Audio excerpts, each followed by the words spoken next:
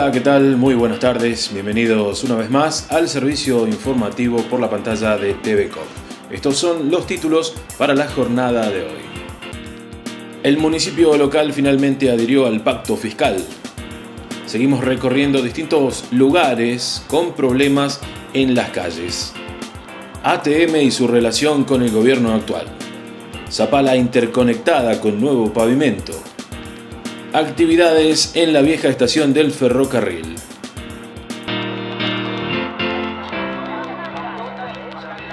En horas de la mañana, nuevamente la intendente municipal de nuestra ciudad, María Soledad Martínez, la doctora María Soledad Martínez, convocó a una nueva ronda de prensa a partir de las 9 de la mañana. El tema que se trató y que se tocó tiene que ver con la firma del pacto fiscal. Estamos recibiendo la visita del, ministro de Hacienda y Obras Públicas de la provincia. Economía, Economía y Obras Públicas de la provincia.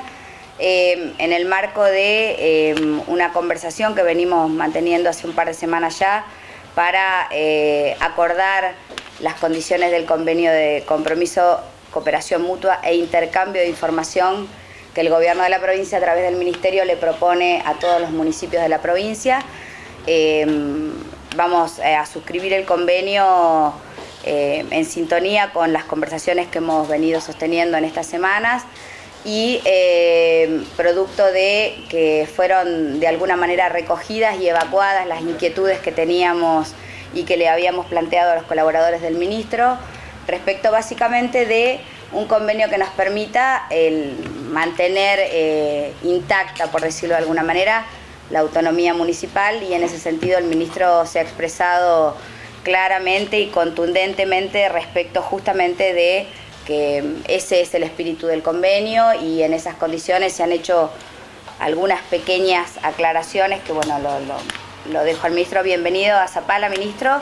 Nos acompañan parte de los concejales, el presidente del Consejo Deliberante, la concejal Blanco Barrio Nuevo y Belén Aragón y parte del gabinete, este, porque la verdad que para nosotros es una visita importante, así que bienvenido.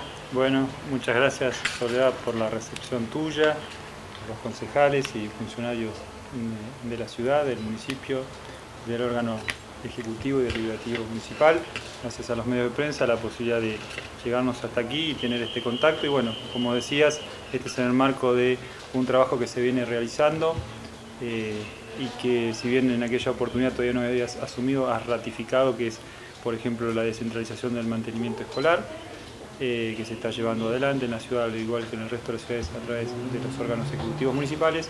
Y aquí, luego del diálogo que hemos tenido y de dilucidar algunas dudas e interrogantes que tenían el secretario de Hacienda y la intendenta, podemos llegar a suscribir este acuerdo eh, en los tiempos esperados y normales, con lo cual es, básicamente esto es una orden, una instrucción que el gobernador de la provincia nos dio de llevar adelante acuerdos con los municipios efectos, entre otras cosas, de lograr una homogenización de la base tributaria, de cobro de distintos impuestos y tasas, de regímenes informativos, de convenios de reciprocidad. El municipio va a poder contar con un convenio actualizado de reciprocidad por el cual va a tener información actualizada para la toma de decisiones que se genera en la Dirección Provincial de Rentas, en la Dirección Provincial de Estadística y Censo y en la Dirección Provincial de, Catastro.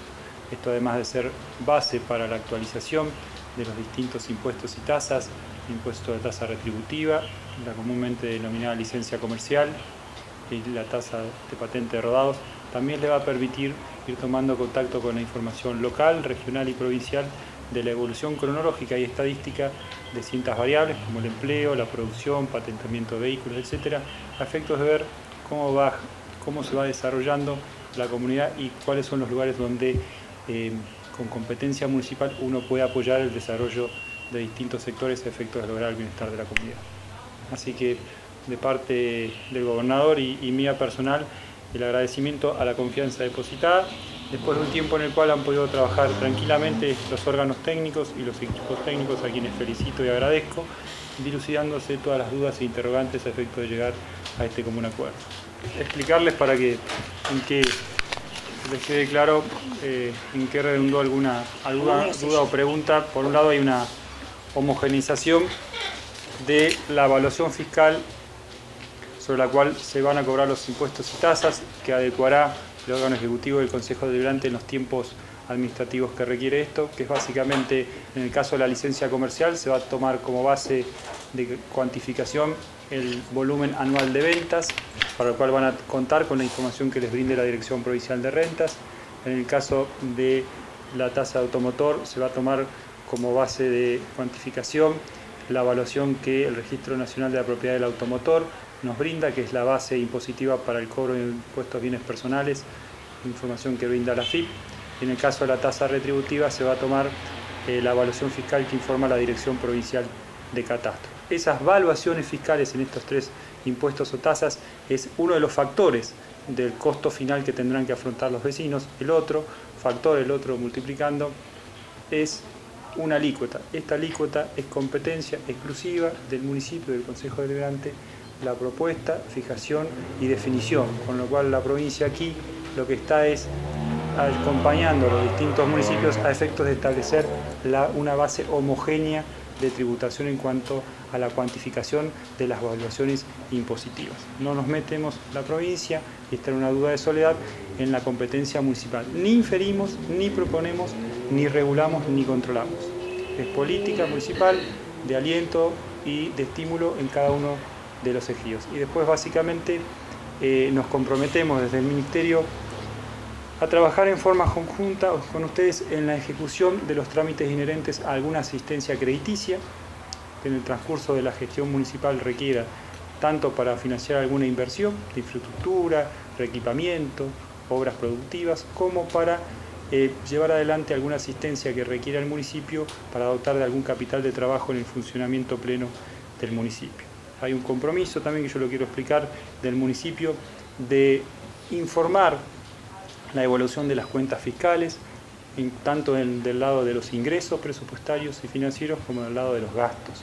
Y en este punto hay una obligación de informar la evolución de la masa salarial bajo sus distintas modalidades, contratados, planta permanente, temporaria y política. Y este último ítem tiene que ver con una responsabilidad que hemos asumido nosotros, Soledad, con el gobierno de la provincia, al lograr un periodo de franquicia, un periodo de gracia de dos años con un ahorro para el presente año de 200 millones de pesos con el gobierno nacional.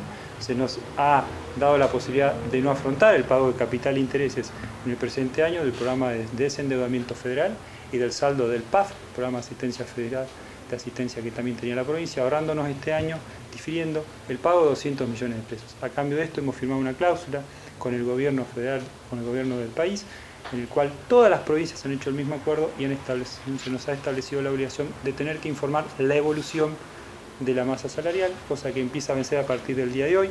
Para los que por ahí conocen la jerga un poco impositiva, es un formulario análogo y similar al formulario 931 que se presenta en la FIP.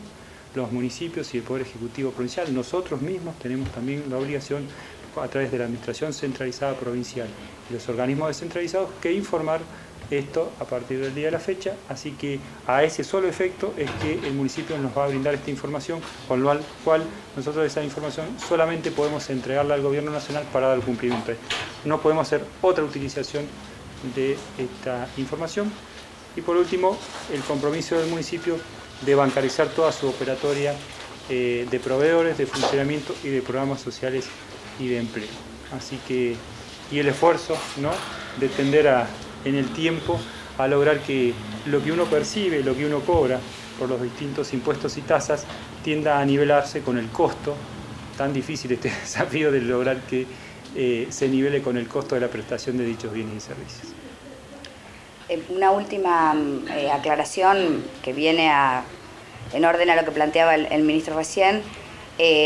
con independencia de haber suscrito o de no haber suscrito el convenio hasta la fecha, la información respecto del comportamiento de la masa salarial y de todo eh, de las partidas presupuestarias y del gasto que en el marco del presupuesto esto significa para el municipio ya ha sido presentada, actualizada y rectificada porque habíamos tenido una presentación preliminar a pocos días de asumir y habiendo ajustado ya los números finales en el transcurso de la semana le fue remitida al Ministerio de Hacienda esta mm, de Economía, perdón, esta información porque Em, como lo hemos anunciado muchas veces, nosotros entendemos que de esa manera se ordena el funcionamiento del Estado y nuestra vocación con independencia de la firma del convenio era mantener esa información actualizada en los tiempos que el Ministerio de Economía lo requiriera.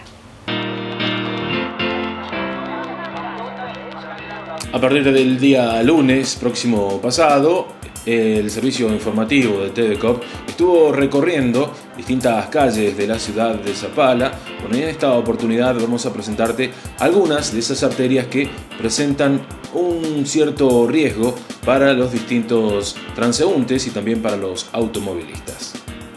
A través de estos pequeños micros que hemos venido realizando, en el que hemos mostrado el estado de diferentes arterias de nuestra ciudad. También pretendemos mostrar situaciones peligrosas que pueden conllevar eh, actuaciones judiciales, lo que tiene que ver con la contaminación ambiental, lo que tiene que ver con la contaminación sonora, con la contaminación visual. Y permanentemente hemos visto la proliferación de cables que hay en nuestra ciudad que es realmente increíble. A través de lo que es la tarea de la cooperativa de energía eléctrica de nuestra ciudad, se está trabajando muy fuerte para poder implementar a través de fibra óptica los servicios y de esta manera reducir ostensiblemente todo lo que tiene que ver con la contaminación a través de los cables. Pero en cuanto a las situaciones problemáticas, eh, que quizás podamos anticiparnos a un futuro accidente, a mis espaldas podemos ver una situación que data de hace un montón de meses atrás en un eh, palo de la luz, Pablo del cable, no sabemos en realidad a qué servicio nos estamos refiriendo, pero en una situación por demás problemática que puede llegar a traer un accidente con consecuencias impensadas en todo lo que tiene que ver con el tránsito. Estamos viendo transitar vehículos, personas, gente que se dedica a hacer tareas aeróbicas en esta arteria, están en permanente peligro. Desde aquí lo denunciamos y esperamos que alguien tome cartas en el asunto. Esto es en las adyacencias del barrio Pino Azul. Estamos presenciando el estado en el que se encuentra este poste que en cualquier momento va a caer hacia la calle y no sabemos a quién va a agarrar. Nuestro compañero de tareas, Gabriel Marcelo Quiroz, estuvo de recorrida por distintos lugares de la ciudad de Zapala y en esta oportunidad se centró en la problemática que están viviendo con respecto a la necesidad de obras los vecinos del barrio 25 de Mayo. La desaprensión, la falta de convicciones para llevar adelante todo lo que tiene que ver con las tareas comunitarias, la falta de compromiso por parte de una gestión de gobierno han desnudado diferentes situaciones que tienen que ver con los vecinos. A mis espaldas podemos ver parte de lo que es el barrio 25 de Mayo y el calamitoso estado en el que se encuentran las veredas, con un consecuente peligro que, al igual que hemos venido denunciando en los otros eh, espacios que hemos recorrido, las diferentes arterias, nos prenden una luz de alarma. Pero por sobre todas las cosas, aquí en el barrio 25 de Mayo y haciendo un poco hincapié en lo que tiene que ver con la tarea comunitaria y de las comisiones vecinales, es menester que nos hagamos eco de todo lo que tiene que ver con nuestra Carta Orgánica Municipal en todo lo que se refiere a las comisiones vecinales. Las comisiones vecinales tienen que eh, autosolventarse la mayoría de las veces cuando el presupuesto participativo es una herramienta fundamental que tienen los vecinos y no han podido hacer uso. Esperemos que en esta gestión de gobierno las comisiones vecinales tengan el lugar que realmente se merezcan y que no se tengan que ir los vecinalistas. El vecinalismo está llamado a ser la forma de gobierno ideal en estos tiempos que corren. El presupuesto participativo permitiría que se arreglaran estas veredas, que aquí en el barrio 25 de Mayo el salón comunitario esté en condiciones y no a punto de venirse abajo como está. Hoy convocado como realmente el nombre lo acreditaba. Hoy es una pajarera llena de palomas, lleno de piojos, con la posibilidad de los vecinos de manejar la situación si es que la municipalidad se lo va a permitir. Esperemos que estas situaciones en las que vemos las veredas con un peligro constante para quienes transitamos estos lugares hacen que tengamos que poner cartas en el asunto. Nosotros desde nuestro espacio no es una denuncia, simplemente un llamado de atención para colaborar con esta gestión de gobierno. Y en nuestro recorrido mostrando situaciones difíciles que se viven cotidianamente en nuestra ciudad, este pozo ubicado sobre la calle Soria en el barrio 25 de Mayo puede significar un problema mayúsculo para cualquier persona que transite esta vereda. Hemos hecho el aviso correspondiente a la Secretaría de Obras y Servicios Públicos. Esperemos que a la brevedad estas tapas queden cubiertas porque diariamente transitan niños y lo que puede significar una tragedia puede ser evitado merced a esta nuestra tarea. El secretario general de ATM, Benjamín Contreras, dialogó con las cámaras del servicio informativo respecto de la relación que mantiene el gremio con la actual conducción municipal. Estas fueron las palabras. Bueno, nos acercamos hasta la casa de los trabajadores municipales porque eh, vale la pena decir que ante un cambio de gobierno, generalmente la variable de ajuste son los trabajadores municipales y quien eh, se encarga de llevar adelante toda la tarea que tiene que ver con los derechos de los trabajadores municipales es Benjamín Contreras, por eso lo vinimos a visitar para que nos cuente, hay un montón de cosas que podemos llegar a charlar que vamos a ir desgranando eh, en esta en este espacio para contarle a la comunidad en la situación en la que se encuentra hoy ATM. ¿Cómo estás, Benjamín? Buenos días Gabriel, buenos días a toda la audiencia de TVCOP. Eh, agradecido porque nos, visitan. Eh, bueno, eh, como vos recién lo, lo acabas de plantear, hay un, sinnúmero de, cuestiones que pretendemos hacer y bueno, estamos en eso, arrancando este año con esta nueva gestión, esperando que, con la expectativa de que ojalá sea en un marco de diálogo y no del conflicto, eh, nosotros de ATM tenemos eh, bien claro eh, cuál es la postura que siempre ha tenido ATM. Nosotros, más allá de la gestión que, nos ha tocado vivir dentro del municipio, nosotros desde el gremio siempre hemos tenido un mismo temperamento con cada gestión, fundado más que nada en la defensa del derecho del trabajador.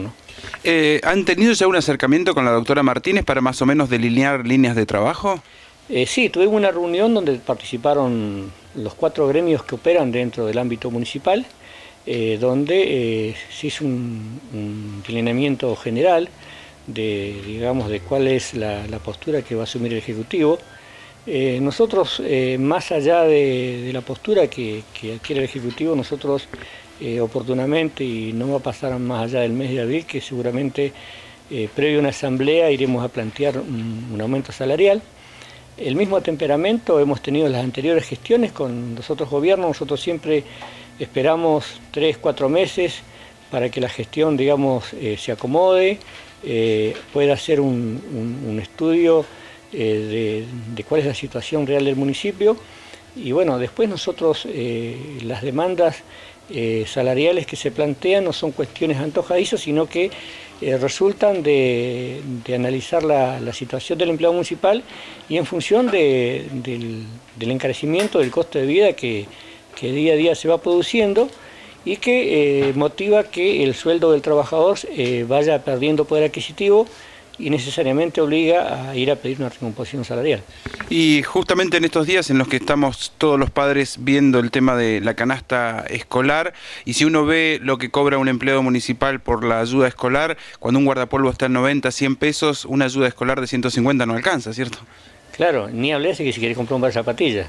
Entonces, eh, creo que en su momento eh, la provincia tendrá que ajustar el tema de la ayuda escolar porque, digamos, hace tres años atrás eh, la ayuda escolar sirvió para algo, y hoy, como vos decís, eh, para comprar un par de zapatillas no alcanza y compras un guardapolvo y, y paramos de contar. Y paramos de contar. Y dentro de ese tren, en todo lo que ustedes han podido evaluar permanentemente en cuanto a la necesidad de cada uno de los trabajadores municipales y ante la inminencia de llegar hacia la intendenta municipal para pedir una recomposición salarial, ¿en el orden de cuánto estaríamos hablando? ¿Una recomposición necesaria para equiparar un poco la canasta? Y si tenemos en cuenta que un básico del empleado municipal de la categoría más baja es 1.967 pesos, creo, si mal no recuerdo, y tenemos que hablar de un mínimo de un 20 o un 25%, ¿sí? para que al empleado le quede un aumento más o menos de 500 pesos en el bolsillo, ¿sí? Eh, mínimo. ¿sí? Eh, creo que es lo que se está hablando en el orden provincial y el orden nacional, pero nosotros también tenemos que tener en cuenta que eh, Zapala es una cuestión muy particular. Eh, cuando la inflación de, un, de Buenos Aires, en Neuquén Capital, eh, es ponerle un 5%, acá tenemos un 10%. ¿sí? Y eso nosotros lo vamos comparando día a día, utilizando los mismos tickets de los, de los comercios de la localidad. nosotros, por ejemplo, hemos, hemos tratado de, de paliar un poco esta situación con los compañeros municipales afiliados a TEME, eh, haciendo compras de útiles mayoristas, ¿sí? Eh, para poder en cierta medida eh, colaborar con el compañero para que pueda por lo menos que sus hijos empiecen, empiecen las clases. nosotros en función de eso, todos los años hacemos una compra de útiles que se la entregamos prácticamente al mismo precio, al mismo precio que nosotros compramos para que el compañero digamos pueda tener en, ese aspecto un ahorro en cuanto a, la canasta escolar. ¿no? Eso va más allá de lo salarial y en el, en, el eh, orden de cosas, de decir, eh, hablemos de todo lo que está haciendo ATM, tiene mucho que ver las gestiones que vos has realizado en la capital federal y que tiene mucho que ver con la concreción de viejos anhelos, como por ejemplo, eh, lo vamos a ver en imágenes seguramente, la creación de un aula donde se van a poder dictar clases y donde el empleado municipal va a poder terminar sus estudios, ¿no? Sí, nosotros a través de la federación, de la FACEM, que es la Federación de la Agrupación de Sindicatos Municipales Patagónicos, a la cual nosotros, eh, ATM, está afiliado, eh, y la CTM, que es la Central de Trabajadores Municipales de la República Argentina, y el Ministerio de Trabajo, se ha firmado un, convenio eh, mediante la cual, a través del programa FINES del Ministerio de Trabajo, se da la posibilidad a aquel compañero municipal que no terminó sus estudios primarios poder terminarlos con un sistema de capacitación de tutoría. ¿sí? Se le da todo el material, se designa un tutor que digamos, se ocupa de preparar a ese compañero. Lo mismo en el ciclo secundario y después una, gama eh, bastante amplia de capacitaciones específicas en cuanto a los oficios. ¿sí? Eh, la idea que tenemos desde el gremio es poder, eh, digamos, que, que el compañero municipal se pueda eh, capacitar y se pueda especializar en la función que está desempeñando y de esta manera, eh, digamos, eh, traer un mejor servicio a la comunidad, ¿no es cierto?, a la cual nosotros nos debemos. Sí, porque generalmente gobierno que entra, gobierno que trae técnicos nuevos y va en desmedro del trabajador municipal que siempre se queda sin la capacitación. ¿no? Claro, es, es, es, una desgracia que tenemos los trabajadores municipales, desgraciadamente, para plantear un caso puntual, han habido capacitaciones en tránsito y transporte, pero quienes hicieron esas capacitaciones eran funcionarios políticos que se fueron. O sea, la comunidad Zapala le pagó capacitaciones a personas que ya no están más en el municipio. Ahora, quienes realizan el trabajo es el trabajador, el empleado de planta, el contratado. Y nosotros del gremio apuntamos a que, a que esa gente se capacite, a que esa gente se especialice, porque en definitiva es la que perdura en el tiempo hasta que se jubila. Un reclamo que ya tiene muchos años y que al fin parece tener cabida en este nuevo gobierno es el asfalto para la avenida del Maestro. Los vecinos del conocido barrio Mudón deben estar muy contentos. Este es el informe que presentamos por el servicio informativo de TV Cop. Las vías de comunicación de una ciudad que se precie de tal son fundamentales. Podemos hablar de la ciudad de Zapala con más de 40.000 habitantes y en una situación que realmente llega al hartazgo por parte de quienes transitamos las diferentes calles de la ciudad de Zapala. Zapala, en lugar de tener crecimiento en cuanto a todo lo que tiene que ver con la pavimentación urbana, ha sufrido un decrecimiento, una involución que está a la vista, no tengo mucho para aclarar, pero en este momento histórico en el que me encuentro es realmente destacable lo que está aconteciendo, porque esta vía que conecta la Avenida del Maestro con el alto de la ciudad significa algo muy importante para la ciudad de Zapala, porque está conectando, interconectando todo lo que es la zona del alto de la ciudad con el centro de la ciudad para de esa manera mejorar el flujo de automovilistas. En su oportunidad, lo que en algún momento fue la Avenida Tierra del Fuego, trajo más de un dolor de cabeza. Ahora, luego de que algunos vecinos, preocupados también con la interconectividad de la ciudad de Zapala, vuelven a proponer que sea de dos manos la calle Tierra del Fuego en una situación que seguramente va a traer más de un dolor de cabeza si esto se llega a buen puerto.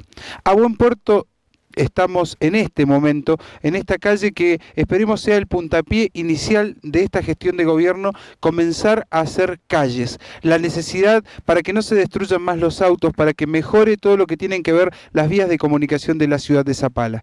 Este trabajo que se está realizando en la ciudad de Zapala es fundamental para que esto cambie. Muy buen trabajo se está realizando en la Avenida del Maestro con una situación en la que era un solo pozo, hoy por hoy podemos encontrarnos sobre una cinta asfáltica que en muy poco tiempo más vamos a tener la oportunidad de transitar normalmente con nuestros vehículos. El pronóstico del tiempo para mañana jueves anuncia cielo mayormente despejado a parcialmente nublado, una mínima que oscilará entre los 10 y los 12 grados y la máxima entre 26 y 28 grados. La presión estará en ascenso, tendremos vientos en ascenso también entre 15 y 45 kilómetros por hora provenientes del sector noreste. Más noticias. Promocionan el corso en Neuquén. Autoridades municipales referentes del evento, junto a una murga, arribaron a la capital neuquina para promocionar el carnaval y difundir las actividades que se realizarán. Serán desde el 16 al 19 de febrero y participarán más de 2.000 personas, 45 elencos invitados y 15 locales. El corso es considerado el más grande del sur argentino ya que congrega a 10.000 visitantes por jornada de la región y el país. La directora de promoción y gestión turística, Verónica Aparra, señaló que tenemos pensado en 2013, año del centenario de nuestra ciudad, redoblar la apuesta y que esta fiesta se transforme en un evento provincial. Una comparsa con cerca de 30 burgueros recorrió diferentes lugares de la ciudad de Neuquén con la misión de difundir el carnaval. Algunos de los sitios visitados fueron la Subsecretaría de Turismo de Neuquén y el Monumento a San Martín.